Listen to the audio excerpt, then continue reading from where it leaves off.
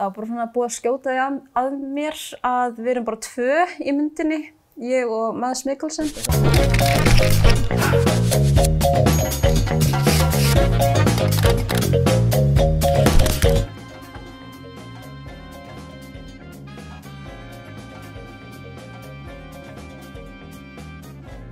Ég heiti Marja Talma Smárdóttir og ég er leikkona.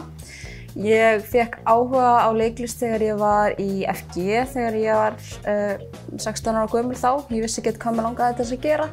Uh, MH var fyrir valinu og FG, en FG heitlaði mig aðeins betur af því að þau voru með leiklistabraut og á þeim tíma þá var ég svolítið feiminn. Svona frekar mikið feimin og svona inn í mér þannig að mér dætti í huga að kannski myndi leiklistin hjálpa mér að komast undir skilni. Um, síðan útskrifast ég úr listaháskólum 2016 og fór þá að leika í fanga. Fór að leika í föngum og uh, sex mánuðum, fimm eða sex mánuðum eftir það þá fæ ég bóðum að koma upp í þjóðleikus og vera í einu verkefni þar. Og í sömu vikunni fekk ég bóðum að koma í pröfu fyrir uh, kvikmynd sem heitir Arctic.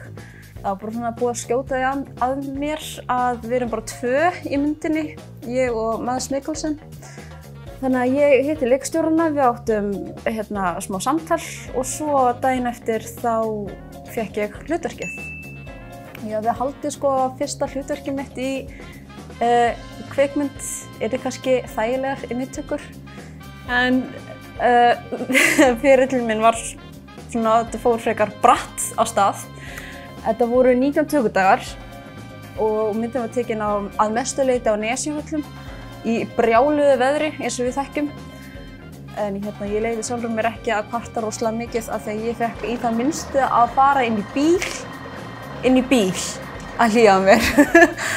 og hann, var úti alltaf í, hérna, í 12 tíma í tökum. En ég fekk allavega smá pásur á milli. Svo hérna, já, frumsýndum við myndina á Cannes og þetta var svo ótrúlega, ótrúlega sérstakt augnablikk fyrir mig og marga aðra örgla.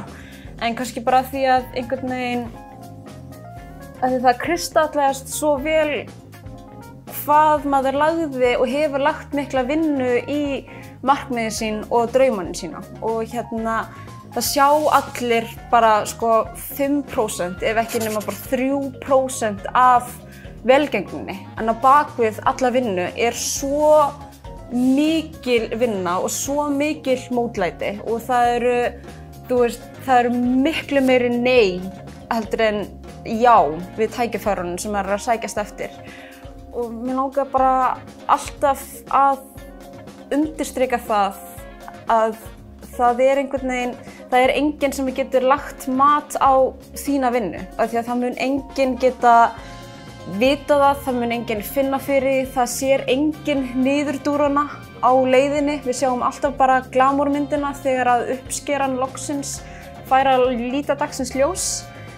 Þannig að ef það er eitthvað sem að ég vil taka út af um, þá er það að skila öllu af sér eins vel og þú getur og njóta þess að vera í niðurdúrnum. Ef þegar þú ert í niðurdúr þá er engin önnur leið en bara upp á við. Og svo líka þegar leiðin liggur upp á við þá er engin leiðin bara niður á við. Þannig að njóta hvert einasta tækifæri og halda áfram og reyna að gera allt eins vel og getur.